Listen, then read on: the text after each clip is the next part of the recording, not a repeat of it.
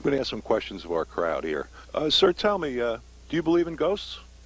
No, but I know who to call if there are. Uh, is that right? Yeah. And, and who would that be? Ghostbusters. Oh, very funny. Okay.